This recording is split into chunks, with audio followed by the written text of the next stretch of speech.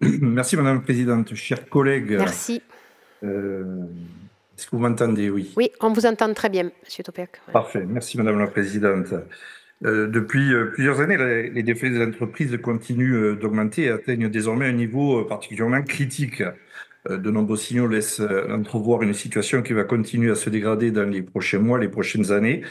Les entreprises rencontrent de grosses difficultés de trésorerie et nous voyons déjà sur notre territoire euh, des conséquences de cette situation, des fermetures de commerce dans nos petits villages, euh, des licenciements dans le BTP et l'artisanat, euh, qui est une illustration aussi de la crise du logement qui est prégnante dans notre pays, et des plans sociaux qui sont en préparation.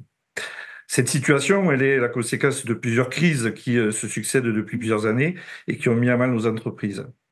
Celle sanitaire, la crise sanitaire avec le, Covid et euh, un soutien de la région déjà à l'époque euh, qui a été important euh, de l'État, des PGE qui pèsent encore lourdement dans les bilans des entreprises. C'est encore 60% des PGE qui, euh, 60% des GT remboursés, 40% doivent encore l'être et un tiers des entreprises sont en grande difficulté pour le faire et 3% sont dans l'impossibilité. C'est la crise climatique qui percute également notre modèle économique et notamment notre agriculture. Et dans le département du Gers, comme dans d'autres départements de la région, depuis quatre ans, nous rencontrons de grandes difficultés et euh, nombre de nos agriculteurs, notamment de domaines viticoles, sont en grande difficulté. Euh, dans le Gers, c'est pratiquement la moitié des viticulteurs qui sont au bord du dépôt de bilan.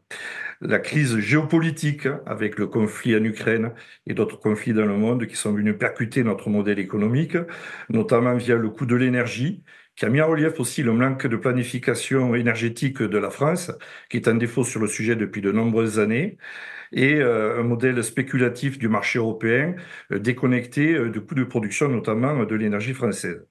Le coût des matières premières et des produits stratégiques qui ont mis en relief les problèmes de souveraineté euh, de notre pays. Euh, et là aussi, la région a pu intervenir avec un fonds souverain, euh, une des régions à la pointe en France, pour essayer de garder la souveraineté en termes économiques. Et puis évidemment, euh, des baisses de parts de marché à l'export. Et euh, je ne manquerai pas de vous rappeler les difficultés des filières viticoles et armagnac, notamment des spiritueux sens plus large, sur l'exportation vers la Chine et exportation vers les États-Unis avec euh, les craintes d'un retour d'une taxe Trump.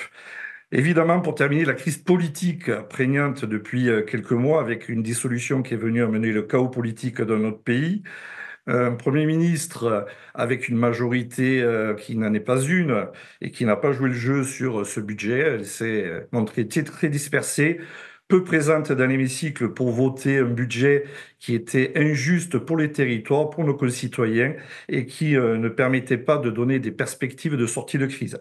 L'effort demandé de 60 milliards d'euros est beaucoup trop important et va coûter des points de croissance. C'est une difficulté supplémentaire dans un contexte d'incertitude. Évidemment, dans cette situation, la région se doit d'être aux côtés des entreprises.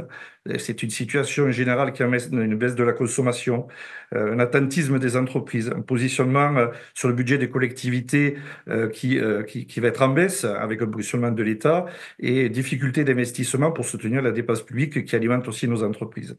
Le contrat d'entreprise en difficulté vient donc à point nommé et la région est à nouveau rendez-vous, comme je l'évoquais tout à l'heure à l'époque du Covid.